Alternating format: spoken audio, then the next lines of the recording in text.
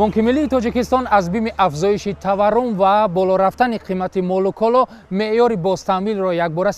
درصد بالا برد که در گذشته ها این خیلی کم به نظر می رسید تا روز 20 مرد معیار بازتمویل 12 و از 5 درصد را تشکیل می‌داد و امروز آن به 16 درصد برابر شده است. بانک ملی با نشر یک بیانیه رسمی گفت قرار مذکور را با نظر داشت عوامل بیرونی اقتصادی قبول کرده است که می‌توانند سبب فشارها به اقتصاد تاجیکستان و سامانی پولی ملی بشوند با گفته بانک ملی این زمان نمایه نرخ‌های خوراکواری جهانی به حساب میانه سالانه ده و 11 یک فایز و بالاروی نرخ نفت تا 55 دلار را تشکیل می‌دهد و این تمایل به اقتصاد و نرخ‌ها در کشور به تاثیر نمیموند. در جلسه رهبریت بانک ملی در روز 20 مارت از جمله کم بودن اسعار خارجی به خصوص دلار و افزایش طلبات به آن در تاجیکستان بررسی شده است ба гуфтаи мақомоти бонк ба сабаби афзоиши пули нақд зиёдшавии талабот ба асъори хориҷӣ вобаста ба татбиқи иншоотҳои бузург хариду фурӯши ғайриқонунии асъори нақди хориҷӣ зиёд шудааст ки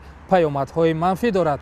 Бисёре аз тоҷирон дар тоҷикистон мегӯянд ки пайдо кардани доллар дар кишвар сахт шудааст ва қимати молҳои воридодӣ аз ҷумла маводи хӯрока ҳам боло меравад. Айни замон дар тоҷикистон қимати як доллари амрикоӣ аз ҳашт сомонӣ болотар аст сиёсати пулии бонки марказии амрико ки рӯзи 16 март меъёри фоизии долларро боло бурд ба гуфтаи бонки миллии тоҷикистон лапишҳои қурбиро ба вуҷуд овард ва мумкин аст дар тӯли сол ба қурби пули миллии тоҷикистон ва болоравии нархҳо сабаб шавад. Бонкҳои тоҷикистон аз ду соли пеш бо далели буҳрони иқтисодӣ дар русия ба буҳрон рӯбарӯ шуданд ва Э, охири соли гузашта ҳам бонки миллии тоҷикистон барои наҷоти чаҳор банк 500 миллион доллари амрикоӣ ҷудо карда буд ва бо вуҷуди кӯмак ду бонки кӯмакгирифтаро низ бонки миллии тоҷикистон баст